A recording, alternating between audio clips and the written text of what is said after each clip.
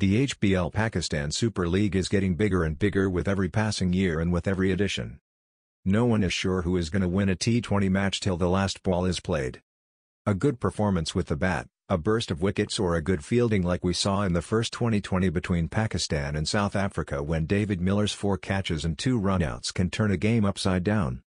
So, everyone can have their guesses but the team which plays well on that particular day take the honors. All six teams are well balanced, highly motivated and best prepared to take the 50,000 full-off crystal trophy which is a representation of the Pakistani flag in all its sparkling beauty, with crystals one by one rising up as a dazzling green beam and shows off the majestic shooting star at the pinnacle. From the most vibrant franchise Lahore Qalandars to the newest team Multan Sultans to the twice champions Islamabad United and one-time winners Peshawar Zalmi, to the most enthusiastic Karachi Kings to the unassuming twice runners-up Quetta Gladiators, every team promises tooth-to-nail fight for the honors.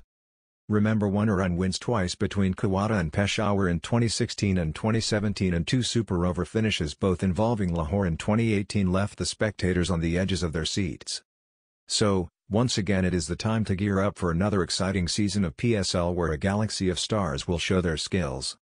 Action will begin right after the opening ceremony when defending champions Islamabad United and Lahore Qalandars will go toe-to-toe -to -toe in the tournament opener.